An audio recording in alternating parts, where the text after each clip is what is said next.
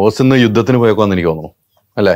പടത്തിന്റെ ഈ പറയുന്ന പോലെ പ്രൊമോഷൻ പരിപാടിയും പല ഈ ഓണത്തിനോട് അടുപ്പിച്ച് ഉള്ള റിലീസ് കുറച്ച് അൺപ്രഡിക്റ്റബിൾ ആയിരുന്നു എന്ന് തോന്നുന്നു. അപ്പോൾ ഡയറക്ടർ ഒരു സ്ഥലത്ത് വർക്ക് ഈ അങ്ങനെ എല്ലാവരും ടൈറ്റ് ആയിട്ട് വർക്ക് ചെയ്തുകൊണ്ടിരിക്കുകയാണ്. കാര്യം കുറച്ച് ദിവസങ്ങളല്ലേ ഉള്ളൂ റിലീസിന് അതിന്റെ അല്ലെങ്കിൽ ബോസ് ഉണ്ടാകാനെ അതെ ബോസ് ഉണ്ടാകാനെ ബോസ് ഇല്ലെങ്കിലും മരണ മാസ് ലുക്കോട് കൂടി ഇന്നലെ പ്രസ് മീറ്റിലെങ്കിൽ എത്തി. വൈറലായിട്ടിരിക്കുകയാണ് അല്ലേ വിനയ്? ഏ? അത്രയും പ്രതീക്ഷിച്ചോ? പ്രതീക്ഷിക്കാനോ? നമുക്ക് അങ്ങനെ പ്രതീക്ഷയില്ലല്ലോ. എന്റെ മുമ്പിൽ രണ്ട് ഓപ്ഷനാണുള്ളത് ഒന്നിപ്പോ ഡെഫിനറ്റ്ലി ഞാൻ മജു എന്ന് പറഞ്ഞ അടുത്ത സുഹൃത്തുണ്ട്. ഭയങ്കര അടുത്ത സുഹൃത്താ. അദ്ദേഹത്തിന്റെ സിനിമ ചെയ്തുകൊണ്ടിരിക്കുകയാണ്. ആ സിനിമയുടെ പേരാണ് പെരുമാനി. അപ്പൊ ആ- പെരുമാനിയിലെ ക്യാരക്ടർ ഇങ്ങനെ ഇരിക്കുന്നത് ഇങ്ങനെയല്ല കുറച്ചും കൂടി രസമാണ് അയാൾ. വേറൊരു തരത്തിലൊരു വിഗും സ്വർണപ്പല്ലും ഒക്കെ ഉള്ള ഒരാളാണ് അയാൾ.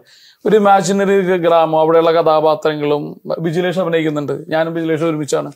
ഭയങ്കര രസമുള്ള ഒരു ഗംഭീര സിനിമയാണ്. അപ്പൊ എന്റെ മുമ്പിൽ ഓപ്ഷൻ ഉണ്ട്. ഒന്നെങ്കിൽ ഈ പറയുന്നത് ഇത് പഠിച്ചിട്ട് ഡയറക്ടറിനോട് ഞാൻ പഠിച്ചു എന്നുള്ള പരിപാടി പറയുക. ഒന്നും പറ്റില്ല. അടുത്ത സുഹൃത്തായതുകൊണ്ട്.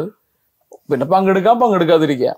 അപ്പോ ഒരു സിനിമ ചെയ്യുമ്പോൾ നമുക്കൊരു തരത്തിലുള്ള ഭയങ്കര റെസ്പോൺസിബിലിറ്റി ഉണ്ട്. പ്രത്യേകിച്ച് നമ്മളെ സംബന്ധിച്ച് ഭയങ്കര പ്രിയപ്പെട്ട സിനിമയാണ് ഒരുപാട് പ്രതീക്ഷയുള്ള സിനിമയാണ് അപ്പോൾ പ്രസ് മീറ്റിൽ പങ്കെടുക്കാം പങ്കെടുക്കാതിരിക്കാം പ്രൊമോഷനിൽ പങ്കെടുക്കാം പങ്കെടുക്കാതിരിക്കാം. കാര്യം തല പോലും മീശ ഞാൻ പഠിക്കില്ല. കാര്യം അത്രയ്ക്ക് നല്ല സിനിമയാണ്. അത്രയ്ക്ക് സൗഹൃദമുള്ള സംവിധായകനാണ്. അതിന്റെ അപ്പുറത്തേക്ക് അത്രയ്ക്ക് പ്രതീക്ഷയുള്ള കഥാപാത്രമാണ്. അപ്പൊ ഇത് വെച്ചുകൊണ്ട് എന്ത് ചെയ്യാൻ പറ്റും എന്നുള്ള ആലോചനയുടെ പരിണിത ഫലമാണ് ഇന്നലത്തെ പരിപാടി. എനിക്ക് എനിക്കും കൂടെ അറിഞ്ഞൂടെ എന്താണ്? അത് ഇഷ്ടം. രാത്രി തന്നെ ട്രോളുകൾ നിറഞ്ഞു അല്ലേ. ഇനി ഒരർത്ഥത്തിൽ ഞാൻ ഭയങ്കര ഹാപ്പി ആയിട്ടോ ശരിക്കും. എന്നോട് ആളുകൾ ചോദിച്ചു ഈ ആളുകൾ കളിയാക്കുന്നത് എങ്ങനെ ഈ സ്പിരിറ്റിൽ എടുക്കണമെന്നൊക്കെ. ഒരു നടനെ സംബന്ധിച്ച് നമ്മൾ പ്രത്യേകിച്ച് ഒരു കമേഴ്ഷ്യൽ ആക്ടർ എന്ന് പറയാം. അതിന് നമ്മളെ സംബന്ധിച്ച് നമ്മൾ എത്ര പോപ്പുലാരിറ്റി ഉണ്ടാവുന്നു എത്ര വിസിബിലിറ്റി ഉണ്ടാവും നമുക്ക് നല്ലതാണ്.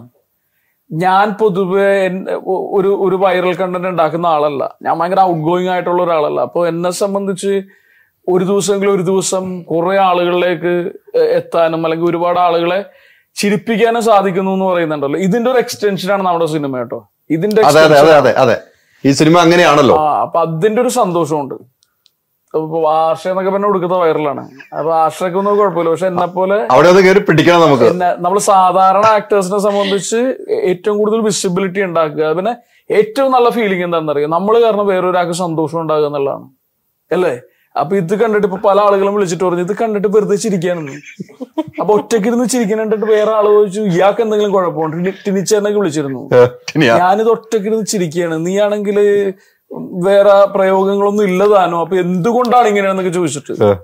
അപ്പൊ അങ്ങനെ ഒരുപാട് ആളുകളെ ചിരിപ്പിക്കാൻ പറ്റിയെന്ന് പറയുന്നതിന്റെ സന്തോഷമുണ്ട്. ആ ചിരിപ്പിക്കലായിരിക്കും ഈ സിനിമയും.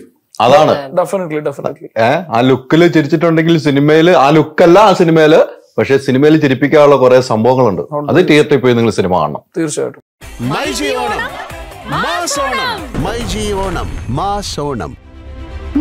academy India number one language Onam